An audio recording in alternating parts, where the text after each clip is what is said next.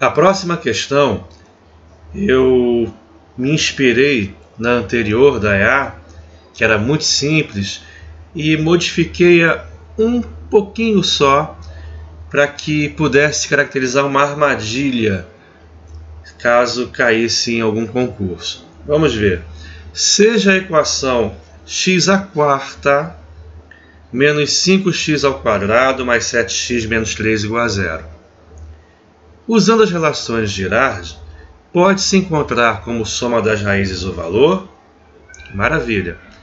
Aí você na prova já está estressado, já está cansado, né? cabeça mil.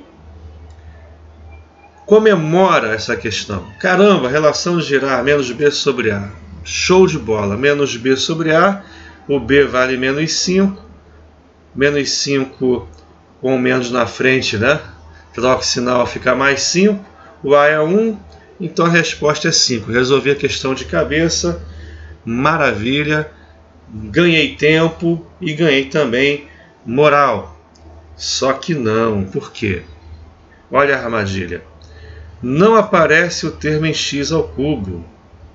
O termo em x ao cubo simplesmente foi pulado, né? Apareceu o termo em x à quarta, depois o termo em x ao quadrado, o termo em x elevado a 1 e o termo independente. Onde está o termo em x ao cubo? Ele não apareceu. Se ele não apareceu, é porque o seu coeficiente é zero.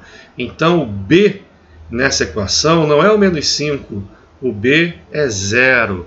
Por isso a soma das raízes não é 5, como na questão anterior. A soma das raízes é zero. Ok? Muito cuidado, uma armadilha que a banca poderia ter armado para cima de você.